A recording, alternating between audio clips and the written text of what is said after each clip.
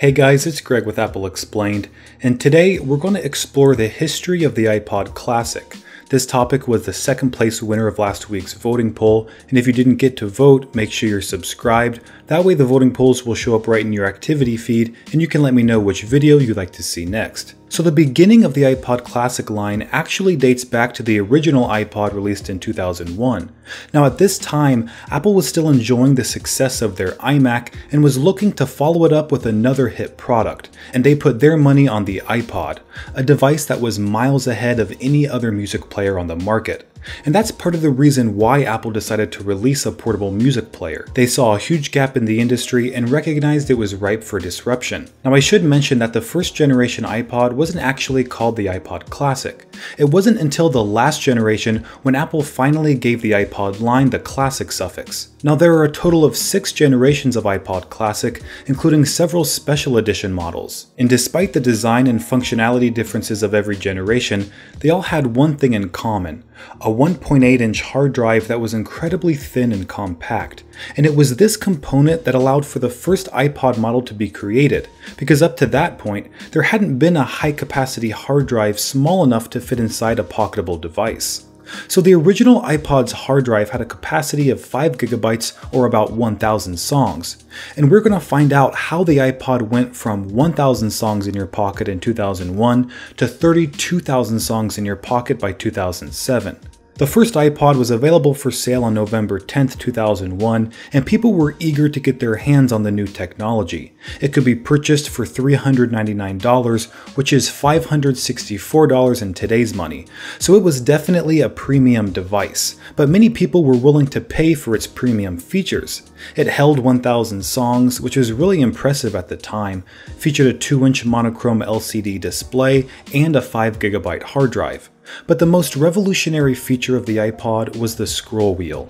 It made scrubbing through your music library quick and effortless, and surrounding the wheel were four function buttons menu, skip forward, skip backward, and play pause. And I should mention that the first generation iPod was the only one with a mechanical scroll wheel. That meant the wheel would actually spin around as you moved it. Now its battery was estimated to last about 10 hours, but this was debated since some users experienced much less.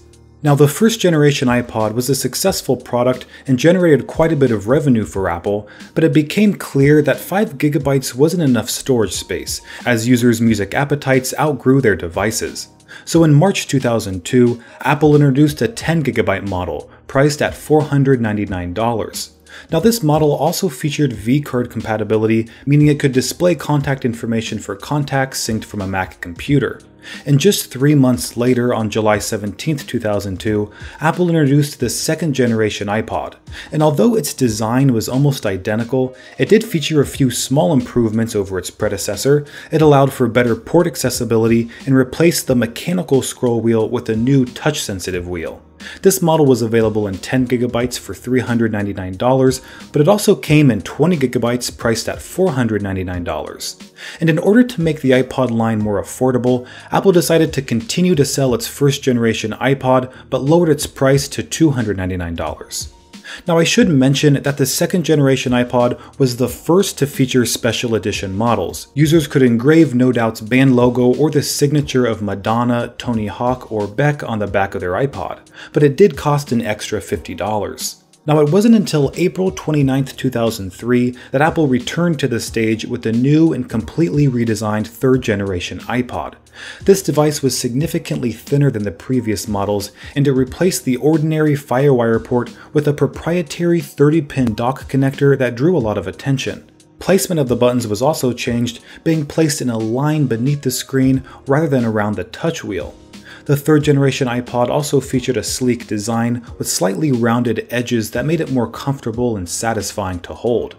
And as for the storage, there were three options available 10GB for $299, 15GB for $399, and 30GB for $499. Unlike prior generations, all models of the third generation iPod were compatible with both Windows and Mac although Windows users still had to reformat the device before use. and this generation actually experienced a drop in battery life from 10 hours to 8 hours. This was because Apple used a lithium ion battery instead of lithium polymer to reduce the iPod's cost. The following year in 2004, Apple released the fourth generation iPod as well as two other special edition devices. The first special edition was called the iPod Plus HP, announced on January 8, 2004, and it was a collaboration between Apple and HP, and the device featured an HP logo on the back and was fully distributed through HP only, making it an official HP product. In fact, Apple wasn't authorized to service the device since it had to be taken to an authorized HP service center for repairs to be made. Later, in July 2004, the fourth generation iPod was released. It was thinner than its predecessor, and one of the biggest features was the click wheel, which replaced the touch wheel. Now, the click wheel was originally included in the iPod mini, but Apple decided to use it for the fourth generation iPod as well. But that wasn't the only technology Apple borrowed from the iPod mini. The fourth generation iPod also used its energy efficient components, which extended battery life to 12 hours, even though the device was equipped with the same lithium ion battery as the previous third generation model.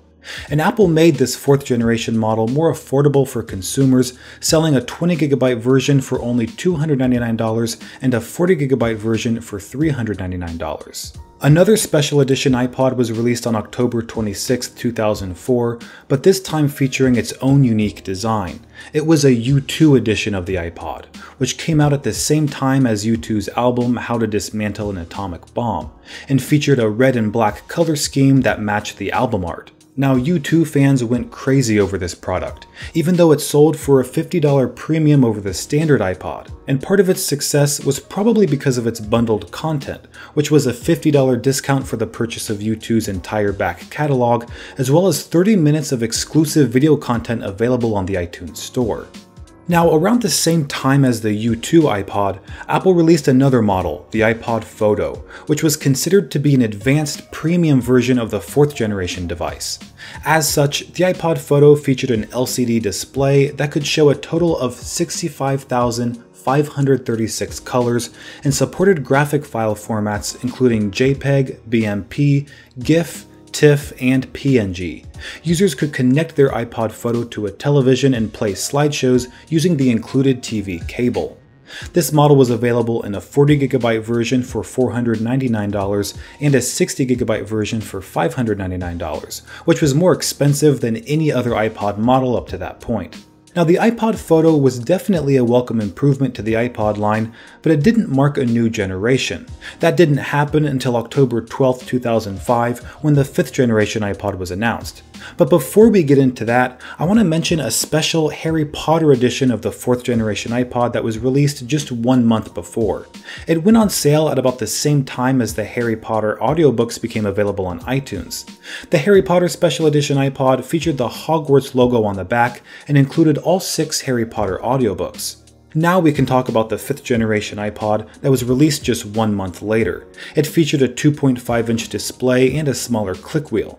This was also the first iPod capable of playing videos, and the first standard iPod to be available in two colors, black and white. The 5th generation iPod also marked the second time Apple fully redesigned the product. It featured a completely flat front plate and was much thinner than any of its predecessors. It could play TV shows, movies, podcasts, or music videos in MP4 and H.264 formats. It also came with an S cable that allowed it to play videos and slideshows on other displays. Now the 30GB version of this iPod was $299, while the 60GB model sold for $399.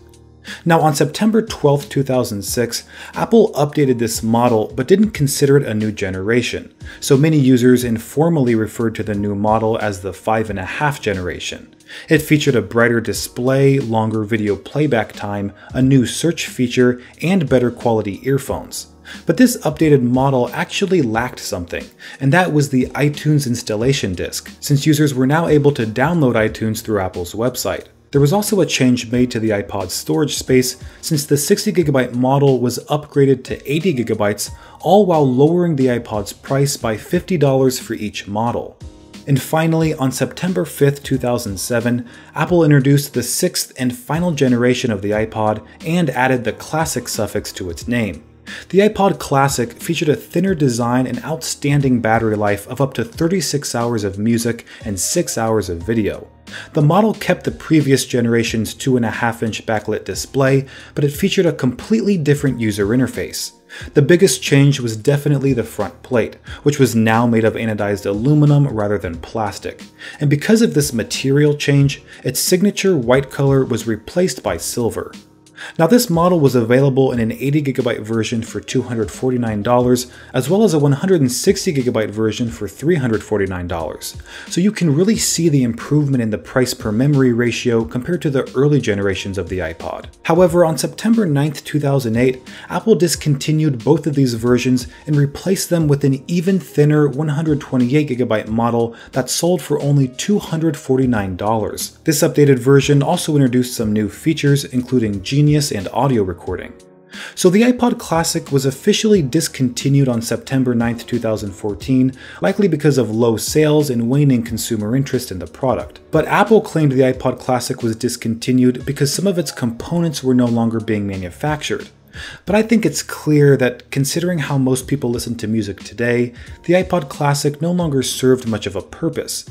It had no wireless capabilities at a time when streaming became the status quo, and it still used the click wheel interface, which felt pretty outdated after getting used to modern touchscreens. And on top of that, very few people are interested in carrying an iPod with them in addition to their iPhone. But despite all of that, Something interesting happened after the iPod Classic was discontinued. Its resale price skyrocketed.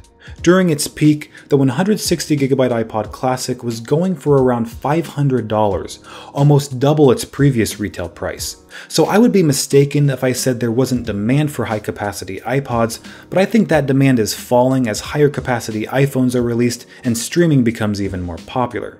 So that is the history of the iPod Classic, and if you want to vote for the next video topic, don't forget to subscribe. Thanks for watching, and I'll see you next time.